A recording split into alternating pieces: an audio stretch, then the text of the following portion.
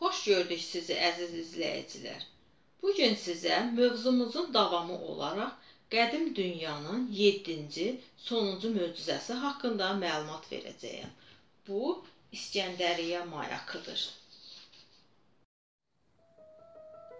Eradan əvvəl 332-331-ci illərdə tarixin ən böyük sərkərdəsi Makedoniyalı İskəndər qədim Misir torpağında yeni bir şəhər saldırdı.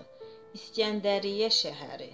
İskəndərin vaxtsız ölümündən sonra hakimiyyəti ələ alan 1-ci Ptolemey günün qaranlıq vaxtında, eləcə də əlverişsiz havalarda limana yaxınlaşan gəmilərə yol göstərmək üçün eradan əvvəl təqribən 280-ci ildə Nil çayının mənsəbindəki Faros adasında dünyanın ən böyük mayakının tikilməsinə dair göstəriş verdi.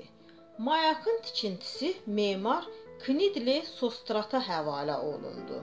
Mayak İskəndəriyyə şəhərinin kənarında ucalığına görə ona İskəndəriyyə adı verildi.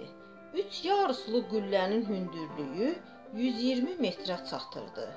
Onun zirvəsindəki daş köşkdə gəmilərə yol göstərən tonqal alovlanırdı. Misirin Aralıq dənizi hövzəsində Qahirədən sonra ikinci böyük şəhər sayılan İskəndəriyyə şəhəri təkcə mayakı ilə deyil, eləcə də 700 illik fondu olan antik kitabxanası, muzeyi ilə də şöhrət tapmışdır. İskəndər Zülqərneyninin yadigarı İskəndəriyyə şəhərində möhtəşəmliyi ilə tarix yazan İskəndəriyyə mayakı 1500 il gəmilərə yol göstərmiş, 1326-cı ildə baş verən zəlzələ nəticəsində yerlə yeksan olmuşdur.